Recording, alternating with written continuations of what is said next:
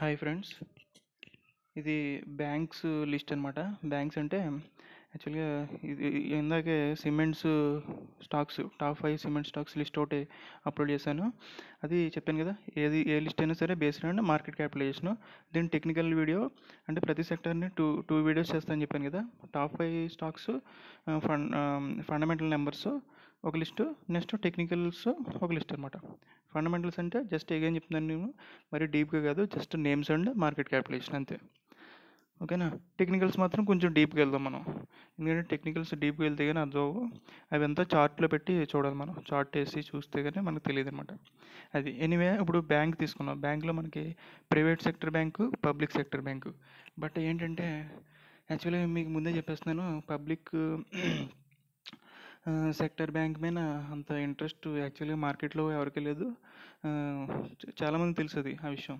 ఓకేనా? స్టాక్ మార్కెట్లో ఉన్న వాళ్ళందరికీ తెలుసు పబ్లిక్ సెక్టర్ బ్యాంక్స్ అసలు పట్టు పట్టించుకోరు వాళ్ళు.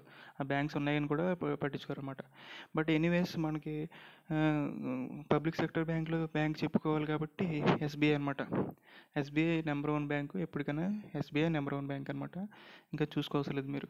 అదొక్కటే బ్యాంకు. మీరు పబ్లిక్ సెక్టర్ బ్యాంకులో గవర్నమెంట్ బ్యాంకులో ఉండాలంటే ఒక బ్యాంకు అది ఎస్బీఐ. ఓకే. మన లిస్ట్ ఏంటంటే ప్రైవేట్ సెక్టర్ బ్యాంక్ లిస్ట్. ఇందులో ఫస్ట్ది అందరికీ తెలిసిందే కదా హెచ్డిఎఫ్సి బ్యాంకు. మార్కెట్ క్యాపిటలేషన్ వచ్చేసి ఆరు లక్షల కోట్లు. ఓకేనా? Next ICICI bank. Market capitalization వచ్చేసి రెండు లక్షల కోట్లు. ఓకేనా? Next Kotak Mahindra bank. Market capitalization వచ్చేసి రెండు లక్షల డెబ్బై వేల కోట్లు. ఇది కూడా మనకి రెండు లక్ష సారీ రెండు లక్షల ఎనభై వేల కోట్లు. ఇది రెండు లక్షల డెబ్బై వేల కోట్లు. ఓకేనా? నెక్స్ట్ మీరు ఇక్కడ అబ్జర్వ్ చేయవలసింది ఉంది పిఈ రేషియో థర్టీ ఇది P PE ratio twenty three HDFC అంటే కోటక్కే పిఈలో ఎక్స్పెన్సివ్గా ఉంది. కోటక్ ప్రస్తుతానికి ఎక్స్పెన్సివ్ అన్నట్టు. ఇప్పుడు చూడండి next Axis bank stock PE eighty చూపిస్తుంది యాక్చువల్గా ఓకే లక్ష యాభై ఆరు వేల కోట్లు. Okay stock PE eight ninety చూపిస్తుంది. ఎందుకు చూపిస్తుంది? నైంటీ ఓకే బుక్ వాల్యూ చూడండి ఒకసారి. Two eighty two. అంటే జస్ట్ వన్ ఇస్ టు టూలో ఉందన్నమాట బుక్ వాల్యూకి. ఇక్కడ చూడండి. వన్ ఇస్ టు ఫోర్లో ఉంది. ఇది కోటక్ బ్యాంకు. నెక్స్ట్ యాక్స్ ఐసిఐసిఐ బ్యాంకు అది కూడా వన్ ఇస్ట్ ఫోర్లో ఉంది. ఓకేనా? ఇది కూడా వన్ ఇస్ట్ ఫోర్లో ఉంది హెచ్డిఎఫ్సి బ్యాంక్. అంటే book book price to book చూసుకుంటే మీకు యాక్సిస్ బ్యాంక్ కొంచెం సేఫ్ అన్నట్టు. సరే వదిలేయండి. Next Axis bank market capitalization వచ్చేసి లక్ష యాభై ఆరు వేల కోట్లు. ఓకేనా? Next Bandhan bank. Bandhan bank వచ్చేసి నలభై తొమ్మిది వేల కోట్లు. దీని ప్రైస్ వచ్చేసి త్రీ థర్టీ ఉంది. Stock PE eighteen. అంటే చీప్గా దొరుకుతుంది ప్రస్తుతానికి. ఓకే? బుక్ వాల్యూ వంద three times. One is to three అన్నట్టు. అండ్ నెక్స్ట్ యాక్చువల్గా ఫైవ్ అనుకున్నాం కదా బట్ ఇండోసిలెంట్ బ్యాంక్ ఎందుకు చెప్తున్నానంటే IndusInd bank already two thousand నుండి మనకు కరెక్ట్ అవుతే ఇక్కడికి వచ్చింది. లేదంటే టాప్ ఫైవ్ బ్యాంక్లో ఉండాలి టాప్ సిక్స్కి వచ్చేసింది.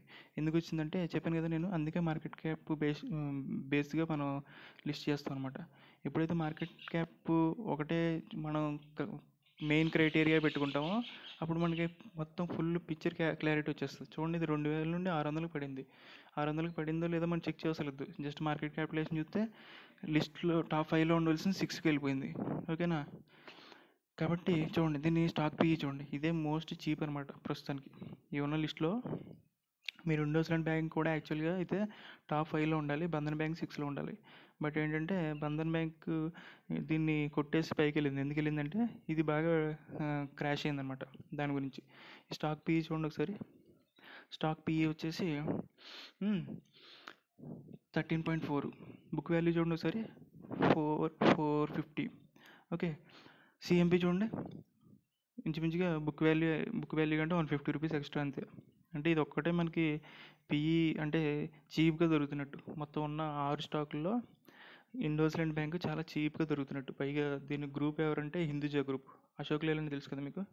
అశోక్ లేలాండ్ ఏ గ్రూపో ఇది కూడా అదే గ్రూప్ అనమాట హిందూజా గ్రూప్ చాలా మంచి గ్రూప్ అనమాట వీళ్ళు హిందూజా బ్రదర్స్ అని చెప్పేసి వాళ్ళు బ్రిటన్ సంథింగ్ లండన్లో ఎక్కడో ఆపరేట్ చేస్తున్నారు వాళ్ళు. అంటే ఇండియా ఇండియన్సే వాళ్ళు. ఓకేనా? అది గ్రూపు కూడా చాలా మంచి గ్రూపు. అశోక్ లేలాండ్ మీకు అందరికీ ఐడియా ఉంది కదా స్టాక్. అది సేమ్ పేర్ పేరెంట్ గ్రూప్ హిందీజా గ్రూప్ అనమాట ఎనీవేస్ ఉన్న ప్రస్తుతం అన్నట్లో ఇది ఒకటే చీప్ ఉంది. బెస్ట్ నెక్స్ట్ ఏంటంటే స్కోప్ టు గ్రో.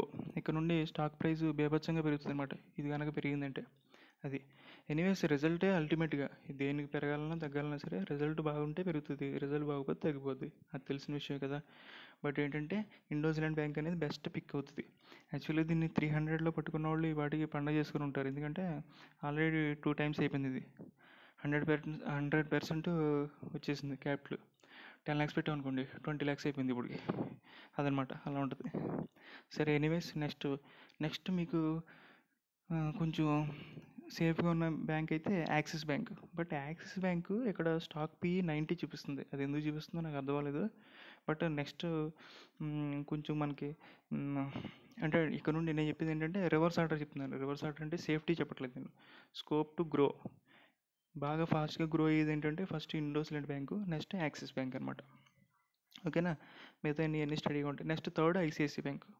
ఈ మూడు ఫాస్ట్గా గ్రో అవుతాయి. ఎప్పుడు మార్కెట్ ఫాస్ట్గా రివర్స్ అయ్యి మార్కెట్ పెరుగుతూ ఉండి అన్నీ కలిసి వస్తాయి అన్నీ పాజిటివ్గా మనం అనుకున్నట్టు ఉంటే అయ్యి అనమాట ఎనీవేస్ ఇది నా ప్రైవేట్ బ్యాంక్స్లో టాప్ ఫైవ్ కాదు టాప్ సిక్స్ లిస్ట్ అనమాట ఓకేనా? అది HDFC bank ICICI bank Kotak bank Axis bank Bandhan bank and IndusInd bank. ఓకేనా? నెక్స్ట్ పిఎస్సిలో చెప్పాలంటే వన్ అండ్ ఓన్లీ ఎస్బీఐ అనమాట థ్యాంక్ యూ వెరీ మచ్.